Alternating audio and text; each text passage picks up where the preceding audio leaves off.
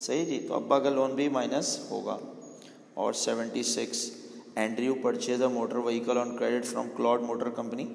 सही how did Claude motor company record this यार, अगर हम मोटर कंपनी बन जाएँ क्लॉड और एंड्रयू हमसे ख़रीद रहा गाड़ी मतलब हम एंड्रयू को गाड़ी बेच रहे हैं। यार, जब हम एंड्रयू को गाड़ी बेचेंगे तो हम क्या एंट्री बनाएँगे? एंड्रयू डेबिट सवाल यह आता है मोटर व्हीकल क्रेडिट करेंगे सेल्स हम सेल्स क्रेडिट करेंगे क्यों? क्योंकि कंपनी के लिए मोटर कार कंपनी के लिए जिनका काम ही गाड़ियाँ बेचना है, उसके लिए motor vehicle non current asset नहीं है, बल्कि स्टॉक है।